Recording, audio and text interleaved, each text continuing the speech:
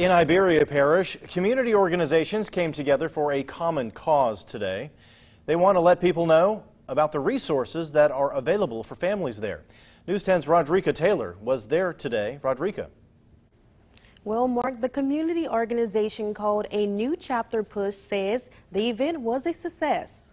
This year, what we've decided to do in bringing these resources together is to compile them in what we are calling the resource catalog and make it available to every agent that was here and even those abroad. It was the seventh annual Partnering for Change and Networking Convention held at the Martin Luther King Jr. Community Center in New Iberia. It's a community organization established in 2017 called A New Chapter Push, brings awareness of resources to the community. Our motto is to supply the needs that are out there. Reverend Realford Johnson is the program director. He says he hoped the community turned out would have been better, but these resources are available whenever needed.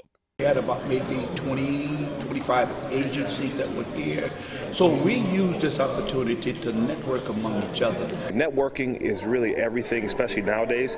Collaboration is currency. Really, that's how it works. Zach Mitchell Jr. is a financial coach. He says coming to the convention allowed him to help 30 to 40 people people just responding because it's not taught in school. It's something everyone wants to know, and we have the opportunity to share that with them. The event also helped many to form new relationships. It was actually awesome uh, to have so many business and like-minded people in the sound building. It was truly a blessing. We've gotten over 40 different applicants uh, and 40 inspections to go do to complete the application. Reverend Johnson says they want to let the community know they are there to help. What we do basically is that wherever there is a need we want to be there.